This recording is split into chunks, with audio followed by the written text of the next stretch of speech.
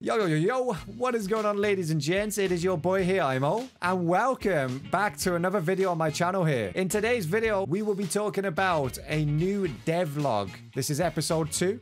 So in the devlogs, we like to discuss the new weapons that we've designed for the week, our plans, and new features that we've also designed. So ladies and gents, if you haven't watched episode one, I do recommend you go check that out. I will plug it up above in the video. And also, guys, thank you so much for 30,000 subscribers. That is outstanding and i just I, I couldn't have done it without you guys. So thank you so much. 50,000 is our next target. Hopefully 2021 will be our year.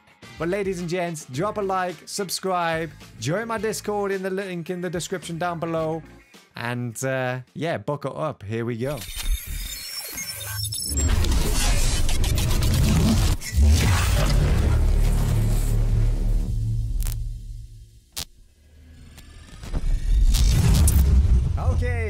welcome back then, guys. Thank you again for being here. If you haven't, drop a sub. But uh, let's, well, pretty much begin. So last week we discussed the new ACR and we showed the gold camos. This week I've got a, well, two new guns to show you guys. A new character which is in development. And also just to explain what we do on a weekly basis. And I'm pretty excited to share this news with you. So let's just uh, hop straight into it. We're going to jump straight into the new character. Here he is right now on the screen. So if you're wondering what I'm looking at, I'm just looking at it as well so I can kind of explain what I'm looking at and how to, you know, pursue it. So, ladies and gents, this operator, I'm not going to tell you what he does exactly, but I'm going to give you a brief overview of him. So, as you can see, he looks kind of stealthy, he looks high tech, and also, as you can see in the top left of the image, there's a gadget on his arm. And I did do a, a quick short video a few days ago explaining if any of you could, you know, guess what that ability would be, then I would gift you a $10 gift card.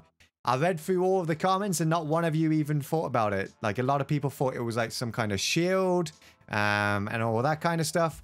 But you know what? I'm going to let you guys know what it is anyway. So as you can see down the right side of the image, you can see this, this nice little tactical uh, weapon as of such. In fact, that is a spike. So you're probably wondering at this moment in time, what, what, what do you mean a spike? How does this work? So, this operator has got a prime purpose of protecting reinforced walls as a defender. So, that arm piece will actually open and shoot one of those spikes out of the arm towards a reinforced wall. And then it will pulse. So, as you guys are probably aware, back on Area F2 and Rainbow Six Siege, you've got these like you know, you can chuck like a grenade at the wall and it then it starts electrocuting so nobody can put any attachment like uh, breach charges or anything on the other side of the wall. But with ours, because we're in the future, ours is a spike that hits the wall and pulses energy. So this can be seen on both sides of the walls. The best way to explain that is think of as a circle and the circle is constantly expanding. Like there's about four or five rings and then it stops and then four or five rings again. So it's nice and noticeable, and it's a it's, it's called a pulse effect. So that is what this operator is all about. He is going to be one of the most used defenders, in my opinion, because if you don't use him, people are going to breach through to the objective room way too easy. So, ladies and gents, I really hope that you that you like the concept and the idea. And I can't wait to show you this finalized model character. Hopefully we can get that, you know, complete by next episode. While we're talking about episodes, though, I just want to briefly explain, you know, what's going on on a weekly to week basis. Because there's not a lot that we can show you every week because it does take time and effort. We've actually had to let two developers leave our team. I'm not going to go down the reasons why, but that means now that we have to, you know, double up our work. And uh, yeah, the manpower at the moment, we're, we're slacking the manpower at the moment because we haven't got many developers. So Christmas is coming up, we're slowing down, and a lot of pressure is being put on the developers that are working hard. So, ladies and gents, please respect um, us as a game company. We are trying our hardest to get this game out as soon as possible. But while we're on that topic, we're looking to get this game out for about summer 2021 for those people that keep asking. Right, the second part of this that I want to show you, and I'm so excited to show you this, and it's going to be one of my favorite weapons to use, and you've probably seen it in the thumbnail, but the Desert Eagle, ladies and gents. So here it is from the side view. Boom! Let's just take a moment to appreciate that right now. That looks so sexy, so clean, and I'm not being biased or anything because it's, of course, this is going to be my game. Well, I'm a well, I'm a founder of the game, so it's going to be part my game. I'm not being biased at all, but that Desert Eagle looks in clean, dudes. I kid you not.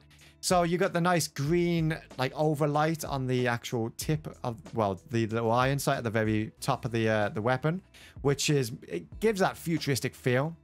Um, it's designed a little bit differently to what you usually see a Desert Eagle looking like. And I'm kind of excited to implement this to the game. I hope you really like this. And here's another image of the Desert Eagle right now. And this is more of a back view. So as you can see on the iron sights on the back, you've still got those green, nice LED shiny parts of the weapon. Then if you're taking a look at the actual handle itself, it just looks goddamn clean. And I, am so i'm so happy with how the modelers came up with this one. And i can't wait to get the animations complete on this just to see the weapon and the recoil patterns. I'm super excited. On to the next image then guys. It's going to be um, an m4 which is nowhere near complete at the minute. So as you can see the, there's three different attachments that are on this. There's a there's a grip. There's um, a different kind of barrel. So this is uh, more of a test. This is nowhere near a finalized, um, you know, weapon. This is more of we're just testing the waters with different equipment and what how should we should we make it more futuristic. So why am I showing you these little images? Uh, this one and the the more that I'm about to show you, basically because every week, you know, we might not be able to finish a weapon or anything. So sometimes there might be devlogs where we haven't got anything finished to show you. But what we can show you is what we are working on and our plans and sketches and stuff like that. Because making a game is a little bit different. It's not like you click your fingers, right, get that done, right, brilliant, it's done. Now get that done, boom, it's done. You complete, you complete like a weapon, for example, and you have to then recomplete it and recomplete it another two or three times until everyone is satisfied with the weapon. There's a lot of things and errors that go wrong when it comes to programming a game and then 3D modeling as well. So on to the next image then, guys. Is again, this is something that we're working on at the moment. This was the barrel for the ACR. So the ACR, if you guys watched the previous video, if you didn't, go watch it. Uh, the devlog one. So we are actually at, like changing the barrel a little bit and adding um, an iron sight. So that weapon isn't fully finished yet. So we're still working on that. Next image then is another view of like an M4A1. But uh, again, it's just us kind of getting used to how it's being built. And then this is nowhere near the finalized version. But again, it's nice to show you what we are working on. Next image then is going to be, again, an inside part of a barrel. Again, it's more of us working on things. It's still not 100% complete. We're, you know, we're trying to make everything as fully satisfactional as possible. Next image then is just a, a pretty basic grip. Nothing special there, but it's, you know, we're working on like the textures on that. So that's going to be, look, you know, we haven't completely finished how it's going to look, but we're going to um, kind of add like a texture and some hand grips into that. On to the next image here then. The ACR so you guys saw the ACR in the last video and in the leaked images that we keep leaking. But uh, yeah, we're working on the magazine at the moment because we're not 100% satisfied with that. So that's what you can see in this image. We're just kind of working with that. Nothing special again, but like like I said, we're bringing you on the journey here. And then the final image I want to show you guys is something that I'm really excited to show you. And that is this image here. So this is the um, the sniper rifle. Okay. I'm not going to give you the name of it yet because we haven't announced our names of all the weapons yet. But uh, we've taken the scope completely off it.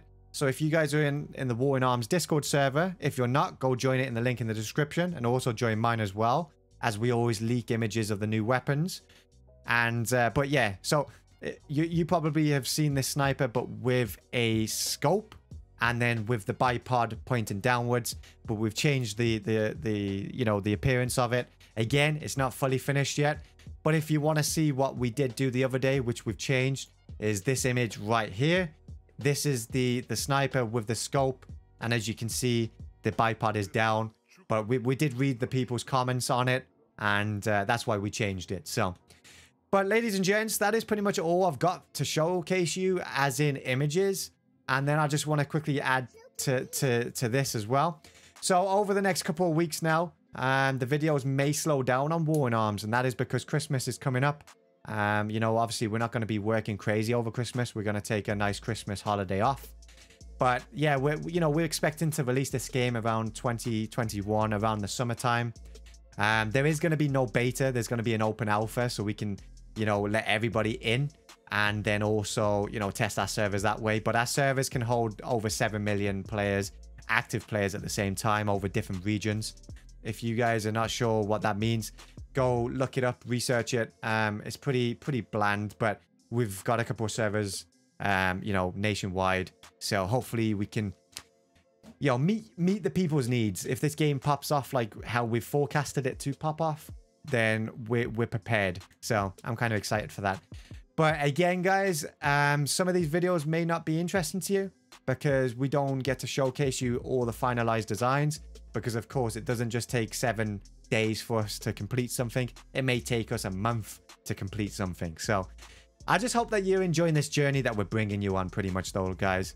And uh, yeah, just thank you so much for supporting me, uh, supporting my channel and supporting War in Arms as well. So without further ado, guys, I just want to quickly mention as well over my channel in the next couple of days, well, over the next couple of weeks and months until this game releases, I will be starting to upload more games on my YouTube channel, not just War in Arms leaks, okay? Because I want to start bringing myself back into a content creator role and I really want to start dipping back into some games. So I've got PUBG Mobile and Call of Duty Mobile and uh, Standoff 2. Those are the games that I'm aiming to play. But I do really want to dip my toes into some PUBG Mobile as they've just, you know, announced the Indian version of PUBG going live soon. So I'm pretty excited for that. PUBG Mobile is going to go huge in 2021, especially with a $14 million prize pool. Um, unfortunately, at the moment, Call of Duty is just not, you know, cutting ties with me at the minute. They're, they're just, uh, they're slacking in areas where they can actually improve their weapons, balance the games. And at the moment, they think they're doing the right things, but they're going back in time. It, it's it's not a good look on Call of Duty at the moment, and I love that game dearly. I just really hope that they can sort out the issues they're having. That is why I haven't been uploading or live streaming Call of Duty content. But guys, go follow my Trovo as well. I am a partnered Trovo streamer. Link in the description down below. I will be streaming over there as well, uh, as well as YouTube. Okay. Apart from that, though, ladies and gents, thank you so much for being here. I hope you enjoyed this video, and I can't wait to see you again in my next one. Take care, guys. Subscribe.